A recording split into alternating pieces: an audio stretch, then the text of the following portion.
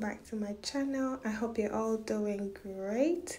So today is a slightly different one. It's just a warm minimalistic um, living room decor. So if this is something that you're interested in just stick around and let's go